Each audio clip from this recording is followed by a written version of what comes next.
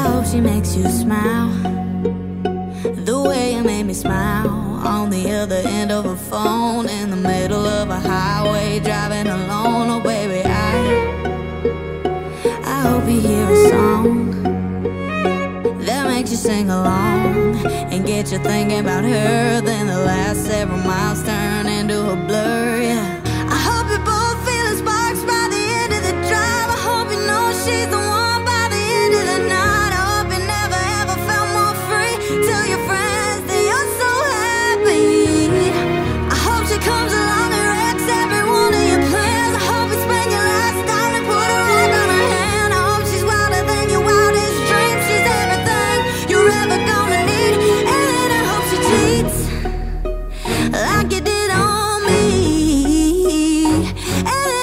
Cheats like you did on me.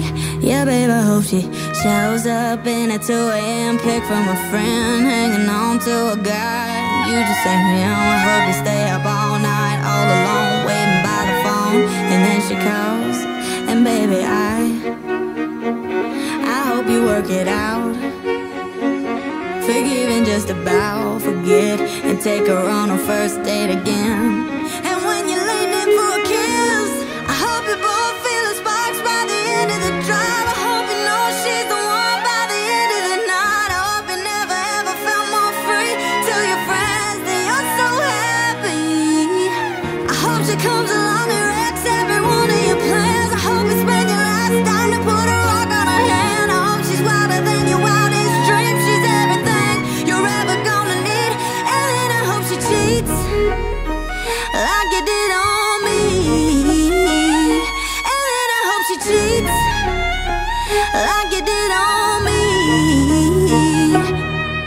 It goes comes all the way around. I hope she makes you feel the same way about her that I feel about you right now. I hope you both feel the sparks by the end of the drive. I hope you know she's the one by the end of the night. I hope you never ever felt more free. Tell your friends that you're so happy. I hope she comes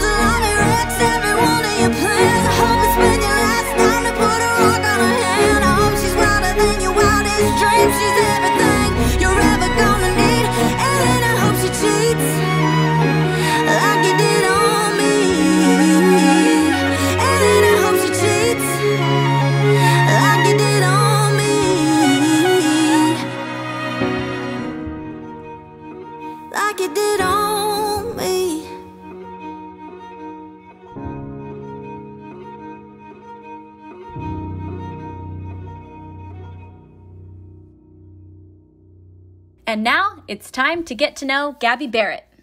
You've done a lot of touring, which is crazy. How did that work as an, like an 11 year old going on tour? me and my dad had kind of just talked and you know said there's no plan a b or c like so 11 i started performing everywhere like i sang at literally grocery stores like where there was three people in the little cafe section over on the side with a black speaker and like a had a mic stand with like hot pink tape on it trying to create a brand for myself. And so from 11 to 16 i just did that all the time. I did not like i missed high school dances. I missed all that stuff which i'm happy for because you know i wouldn't be here where i am today without it. And so i did all of that during 11 to 16 and then 17 i got scouted to be on idol by a producer and then and then two years later now we're talking so I just think that is so cool for not only me to hear, it gets me like excited when I hear you talk about you being an 11 year old singing at a grocery store in front of people that are just trying to get their bananas and apples. Like, I love that because that's what it takes. Like, that's Yes. honestly what it takes. And to do any of those big dream things in life, it's years of work behind the scenes. But I, I really feel like if you can perform and be confident in a situation like a grocery store or a college cafeteria, like these situations that you're like, this is not where you normally see a performer, and I don't feel 100% comfortable because they're not even paying attention. If you can still put on a confident performance somewhere like that, there is nothing better to prepare you for a situation like being on stage in American Idol or being on stage in front of thousands of people Right. because then suddenly you're supposed to be there. So I'm curious, have you gotten any amazing advice or maybe what's one of the biggest things you've learned from some of the people you've worked with? actually still going back one of the best pieces of advice that i've gotten was actually from carrie underwood because a lot of people would just try and compare me to carrie and be like oh you have blonde hair and you you have a big voice and and you sing country music and you sound like her a little bit and, and all of this stuff and so i actually asked her i said what do you what kind of advice could you give to me for people that continuously try to compare me to trying to be like you? And she said look you have she said you have blonde hair and i have blonde hair. She said you have a big voice and i have a big voice.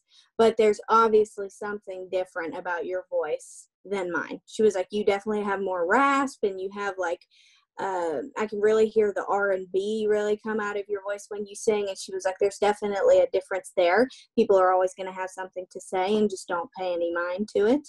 Um, and she said, "And I think you're going to do fine after American Idol, you know, ends and everything like that." So it was just very, it was very sweet to hear that from her. When, of course, getting compared to her is a compliment, um, but it was very sweet to hear that kind of advice um, from the person that people were comparing me to. So she was very sweet Yeah. about it, and it made hundred percent sense to me, and it helped me. So talk about validation i feel like there's something about the entertainment industry where everybody has to like put a label on things like you're in this category of music or you're this kind of singer or you're like that person like i don't know why this industry tries to put people in boxes so hard and if they can't label you then they almost freak out because they don't know what to call you so it's like in that perspective there's almost no way to win so the only way to win is just like you said like carrie said like own that you are your own thing. Like, of course, you're going to compare me because you, you don't know what else to do. But I know that I have something special, and you know that you have a unique voice, and that's why people gravitate to it. Not because it sounds like something they already had.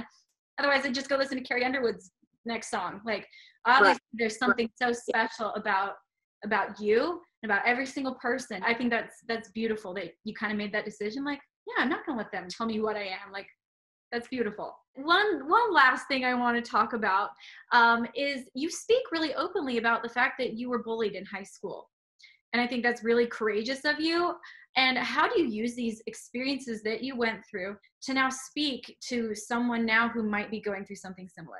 going through school, I had a lot of trouble with girls. Um, there was just always a lot of trouble. I mean, I can remember from it actually being fifth grade all the way through high school, and um, it's just girls can be very mean. Jealousy is a real thing. Meanness is a is a real real thing, and um, I just always use it as a positive. Um, learn from my dad. He just said to always um, use use that to kind of fire you and fuel you to keep going and and you know chasing after everything and he said to me um, the eagle flies alone and the pigeons flock together and and that was just something that was very helpful at the time of being in high school and feeling you know like why doesn't anybody like me why are girls saying that i'm this and that and i haven't even talked to them before in my life and and I mean, it even happened on American Idol. It's just something that you have to go through with life, and I'm sure you understand that as a girl, um, how that goes. And it stinks, but you just really got to think positively about it and um, not find your identity in other people. So, mic drop. You just said so many good things in the last 30 seconds. Wow. I feel like sometimes women feel like there's only so many seats at the table, whether it's so many seats at the popular table in high school or whether it's there's only so many seats for women in touring, like whatever it is, there's this mentality that if someone else is doing it, that means there's no room for you. And that's not the case. The things that you're saying are helping other people realize that there's there's so many seats at the table we don't have to be mean to each other to hold on to our own no we can sit in our chair and pull out one for somebody else to sit down to thank you so much for coming on today everybody june 19th gabby barrett's album comes out so make sure to pick it up and i hope we get to meet in person because i really think we'd be really good friends absolutely, I would love to meet you in person. Thank you so much for having me on this, and I wish you the best with everything. Hey thanks for watching. And thank you so much to Gabby Barrett for coming on today. Also, guys, support her. She's freaking awesome. Her music is so good. So go pre save her album. It'll be in, in the description links. And also, please stay tuned for another string session next week. Lindsey Stirling, signing out.